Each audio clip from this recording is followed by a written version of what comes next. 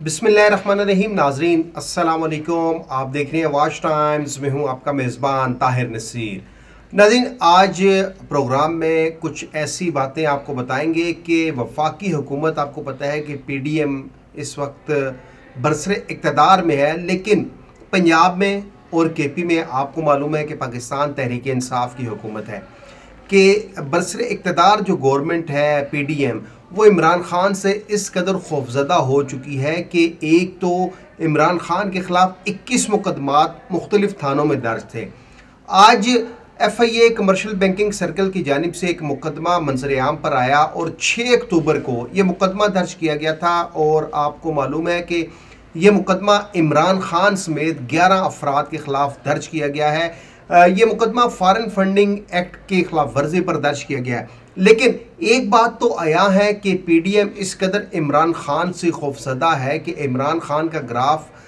आए रोज़ बुलंदियों को छूता जा रहा है। दूसरी जानब जो पीडीएम ही है कि वो ऑडियो भी लीक्स कर रही है, लेकिन इसके बावजूद इमरान खान जो है, उनके खिलाफ मुकदमात भी दर्ज किए जा रहे हैं। लेकिन ज़ाहरी बात है, इमरान खान के पास अपनी दिफा के लिए इतने एविडेंस होते हैं कि उनको अभी तक गिरफ़्तार नहीं किया जा सका और कमर्शियल बैंकिंग सर्कल ने जो मुकदमा दर्ज किया है, उस मुकदमे के मतन के ऊपर भी आपको बताऊँगा कि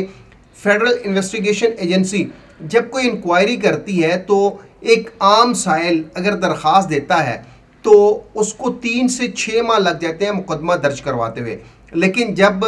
हुकूमत का ज़ोर हो तो ना तो इंक्वायरी होती है और सिर्फ़ एक कागज़ पे लिखा जाता है कि आपने ये मुकदमा दर्ज करना है और वो मुकदमा दर्ज हो जाता है। क्योंकि मैं अक्सर कहता हूँ, पाकिस्तानी अवाम की यादाश्त कमज़ोर है। आपको मालूम है कि जब मोहसिन बे के ख़िलाफ़ मुकदमा दर्ज हुआ था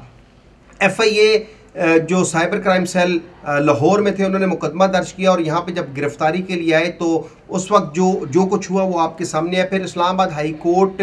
के चीफ जस्टिस सदर मनल्ला ने इस हवाले से एक वाजह डायरेक्शन भी दी थी और एक जजमेंट भी जारी की गई थी। लेकिन वो एक अपनी तरफ़ और ये जो है कि इमरान खान के ख़िलाफ़ अब दोबारा F I A commercial banking circle में ये मुकदमा दर्ज हुआ है। इस मुकदमे में इमरान खान के अलावा जो निजी बैंक है, निजी बैंक है United Bank Limited U B L जो ब्लू एरिया में है, उसके एक मैनेजर को भी नामजद किया गया है। इस मुकदमे में आपको अगर मैं मुकदमे का मतन आप देख रहे हो तो ये मुकदमा F I A C B C Islamabad 2013 के डेट एंड ऑकरेंस जो है वो 2013 की बताई गई है और state through F I A C B C इसमें जो दफात लगाई गई हैं, चार सौ बीस, चार सौ अड़सठ, चार सौ इकहत्तर, चार सौ सतहत्तर ए, एक सौ नौ पी पी सी यानी कि पी पी सी एक सौ नौ का मतलब ये हुआ कि सलाह मशवरा और इसके अलावा पाँच तेईस फेयर एक्ट उन्नीस ये मुकदमे में दफात लगाई गई हैं। इस मुकदमे में अगर आप इसका मतन पढ़ें तो लिखा हुआ है during the course of inquiry number R E एक सौ पाँच दो हज़ार बाईस डेटेड पाँच अगस्त दो C B C Islamabad zone, Islamabad इस कि भाई ये मुकदमा जो दर्ज होता है, इस मुकदमे में बताया जाता है कि अट्ठाईस फरवरी 2013 को 14 मार्च 2013 को 2 अप्रैल 2013 को यूएस डॉलर्स आते हैं इस अकाउंट में और ये अकाउंट नया पाकिस्तान के नाम से बनाया जाता है। आपको ये भी बताएँ कि इस मुकदमे में जो नामजद किया गया है, वो बहुत अहम शख्सियात हैं। एक तो पाकिस्तान के सबक वजी अजम है, चेयरमैन है पाकिस्तान तहरीक इंसाफ के इमरान अहमद ख़ान न्याजी, सरदार अजहर तारिक ख़ान, सैफुल्ला सरवर ख़ान न्याजी, सैयद यूनस अली, रज़ा आमिर महमूद कियानी, तारक रहीम शेख, तारक शफ़ी, फैसल मकबूल शेख और इसके साथ साथ हामिद जमान, मंजूर अहमद चौधरी आगे जो मुकदमे का मतन है, वो सारा आप देख लें कि वो क्या है। लेकिन आपको ये बता दें कि ये मुकदमा बज़ाहिर यही लगता है कि जो हकूमत है, वो उसके होश उड़ चुके हैं। एक तरफ़ आप देख लें कि वज़ीर दाखिला के जब वारंट गिरफ्तारी जारी होते हैं तो ज़ाहरी बात है, अपनी दफ़ा में जो वज़ीर दाखिला है, राना सनाउल्ला उन्होंने कुछ ना कुछ तो करना है। और ये F I A commercial banking circle में यह मुकदमा दर्ज किया गया है। इस मुकदमे में यह कहा गया कि अबराज ग्रुप ऑफ़ कंपनी से 21 लाख डॉलर नया पाकिस्तान के नाम से जो अकाउंट बनाया गया था, इस अकाउंट में आए। इसके अलावा ये भी कहा गया है कि वुटन क्रिकेट क्लब के दो मजीद अकाउंट से भी रकम ट्रांसफ़र हुई है और इसमें यह भी कहा गया है कि आर एफ़ नकवी जो है, उनका इलेक्शन कमीशन में जो बयान हल्फी जमा करवाया गया था, वो झूठा और जाली है, जबकि इस मुशतबा गैर कानूनी ट्रांजेक्शन की तफसीत में एक निजी बैंक के सरबराह ने मदद की। अब वो सरबराह कौन है, उसको मख्फी क्यों रखा गया है, उसको छुपाया क्यों गया है? लेकिन अब इस मुकदमे में होना क्या है कि जो दफात लगाई गई है, नाकबिल ज़मानत ये दफात है, लेकिन अगर इमरान खान अपने दफ़ा में चीज़ें जब सामने लाएँगे तो आप देख लीजिएगा जिस तरह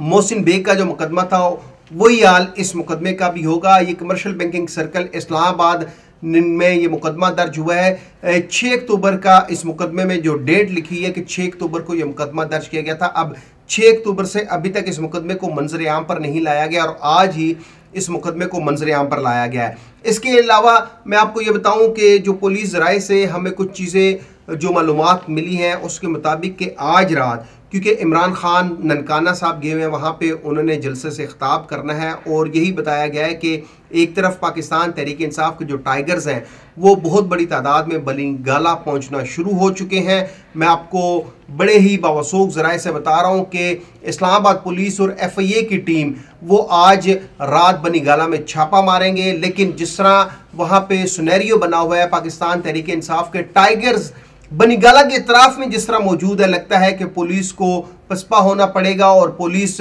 वापसी की तरफ़ पेशकदमी करेगी। लेकिन कुछ जराए हमें इस बात की भी तस्दीक कर रहे हैं कि F I A commercial banking circle कल या परसों इस्लामाबाद की जो अदालत है, जो कमर्शियल बैंकिंग सर्कल को जो डील करती है, सीनियर सिविल जज, उन, उस अदालत से इमरान खान के वारंट गिरफ्तारी हासिल करेगी और उसके बाद कोशिश करेगी कि किसी तरीके से इमरान खान को गिरफ़्तार किया जाए क्योंकि इस हवाले से वफाकी काबीना का इजलास भी हुआ है। आपको ये भी मालूम है कि इमरान खान मुल्क के वजी अजम रहे हैं और उनकी गिरफ्तारी के लिए वफाकी काबीना का इजलास होना ज़रूरी था। उस काबीना का जो इजलास है उसमें यह तय पाया है कि इमरान खान को गिरफ़्तार किया जाए। यानी कि एक तरफ़ आप देख लें कि इमरान खान ने जेल बरो तहरीक भी शुरू की थी आ, लेकिन इसके साथ साथ जिस तरह के मुकदमा दर्ज हो रहे हैं जिस तरह मैंने अपने नाजरीन को बताया कि सिर्फ़ सात किलोमीटर की हदूद में बनीगाला से लेकर तरनोल तक इमरान खान के ऊपर इक्कीस मुकदमा दर्ज थे। दफ़ा एक सौ चौवालीस के कार्य सरकार में मुदाखलत के। फिर आपको ये भी मालूम है कि एडिशनल सेशन जज जेबा चौधरी को धमकी, मेज़, जो पैगाम दिया गया था, उस हवाले से इस्लामाबाद हाई कोर्ट में उनके खिलाफ जो मुकदमा दर्ज हुआ था, दहशतगर्दी की दफात के तहत वो मुकदमा दर्ज हुआ था, लेकिन इस्लामाबाद हाई कोर्ट ने दहशतगर्दी की दफ़ा ख़त्म कर दी थी और उसके बाद इमरान खान के वारंट गिरफ्तारी जारी किए गए थे। नाजिन, कानून ये कहता है कि अगर एक शख्स अदालत में पेश नहीं होता तो पहली समात के ऊपर उसके वारंट गिरफ्तारी जारी नहीं हो सकते। उसको दो से तीन पेशों पे बुलाया जाता है, उसके बाद उसके वारंट गिरफ्तारी जारी होते हैं। लेकिन इस्लामाबाद की अदालत में जो मोजिज जज साहब थे, उन्होंने पहली पेशी पे ही इमरान खान के वारंट गिरफ्तारी जारी किए थे। उसके बाद इमरान खान सेशन जज कमरान बिशरत मुफ्ती की अदालत में पेश हुए और उन वारंट गिरफ्तारी की मनसूखी के लिए अबूरी जमानत के लिए, क्योंकि वो जो मुकदमा थाना मरगला में दर्ज है, उस मुकदमे में तमाम दफात काबिल जमानत थी और इमरान खान की जमानत चौदह अक्टूबर तक मंजूर हुई थी। लेकिन ये जो एफ़ आई ए का मुकदमा है, कमर्शियल बैंकिंग सर्कल का, इसमें जिस मैंने अपने नाजरन को बताया कि चार सौ बीस, चार सौ अड़सठ चार सौ इकहत्तर, चार सौ सत्तर और दीगर जो फॉरन फंडिंग की दफात है फॉरन करेंसी एक्सचेंज की दफात के तहत जो मुकदमा दर्ज किया गया है, चार सौ बीस, अड़सठ, इकहत्तर तो नाकबिल ज़मानत है, लेकिन अगर इमरान खान अपने दफ़ा में चीज़ें पेश कर सके तो ये मुकदमा भी अपेरेंटली यही लगता है कि यह खारिज होगा। सियासी बुनियादों पर यह मुकदमे, मुकदमात बनाए जा रहे हैं, क्योंकि इस्लामाबाद में इमरान खान के ऊपर यह बाईसवां मुकदमा है, जबकि जो वज़ीर दाखिला है, राना सनाउल्ला उनके वारंट गिरफ्तारी निकलते हैं तो वो अब अपने आप को महफूज बनाने के लिए, अपने आप को सेव रखने के लिए उन्होंने अब ये ओछे हथकंडों इस्तेमाल करना शुरू कर दिया और F I A commercial banking circle में इमरान खान, आमर महमूद क्यानी सैफुल्ला न्याजी समेत ग्यारह अफराद के खिलाफ मुकदमा दर्ज किया गया है। देखते हैं इस मुकदमे में क्या F I A नाकबले F I ए काबिल जमानत वारंट गिरफ्तारी हासिल करके इमरान खान की गिरफ्तारी के लिए छापे मारती है या आज रात जैसा पुलिस राय बता रहे हैं कि आज रात किसी भी वक्त बनी गाला में छापा मारा जाएगा। अगले प्रोग्राम तक के लिए अपने मेजबान ताहिर नसीर को इजाज़त दीजिए। अल्लाह हाफिज़।